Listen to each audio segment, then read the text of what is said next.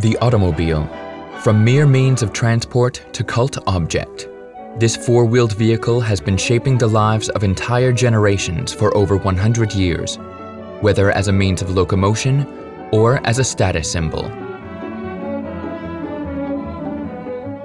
The dream of freedom and mobility became real thanks to the vision of one man, Carl Benz.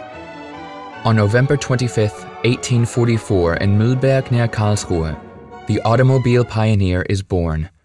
After university and subsequent work in Pforzheim, Carl Benz becomes self employed.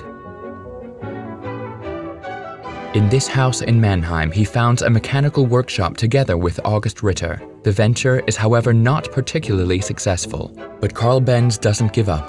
In 1883, he founds the company Benz & Co. Only when he is financially independent is he able to devote all his energies to his inventions. In January 1886, he obtains a patent for his vehicle with gas engine, the birth certificate of the automobile.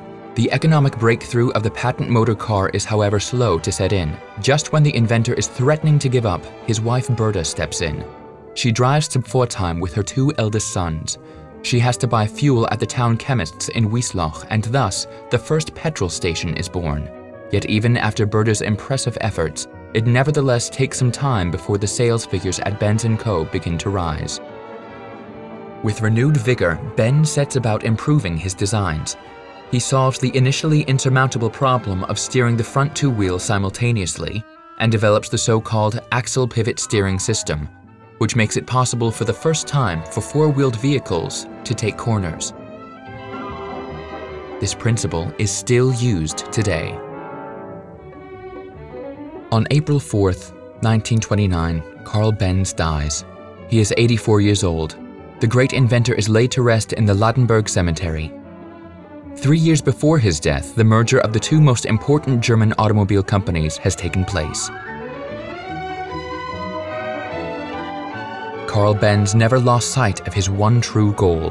His belief that it could be realized finally paid off and contrary to many other pioneers in technology, he lived to see his dream come true the breakthrough of the automobile.